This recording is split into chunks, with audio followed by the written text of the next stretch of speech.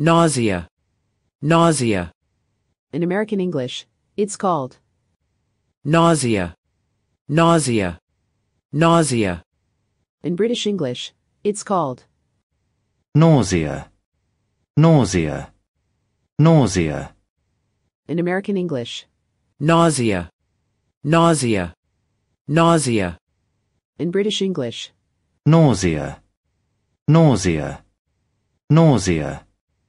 Okay, that's all for today's lesson. By the way, do you know that with 3,000 words, you can understand 90% of everyday English conversations, newspapers, and so on? Our channel will teach you these most commonly used English words. Please subscribe our channel and learn English really fast and efficient. Speech Girl here.